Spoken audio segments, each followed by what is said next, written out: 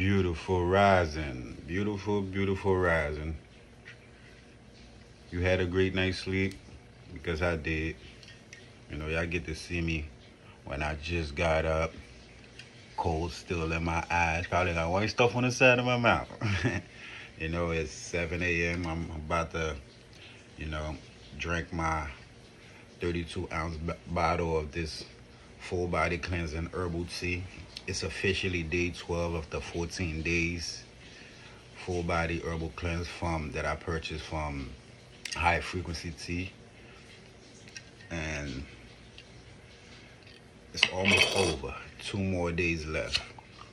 You know, and I'm about to drink this bottle of love. And I call it the bottle of love because all it's gonna do is cleanse me and get rid of toxins and debris and heavy metals and clean out this whole body. Give my body a full body tune up. Just like you give your car a tune up every six months and you get an oil change. You gotta do the same thing for your body. Love your body because you can't wear these clothes, can't travel to these places, you can't eat eat all this wonderful food without a clean body to enjoy it. And one of the things about love is being open, vulnerable, and transparent.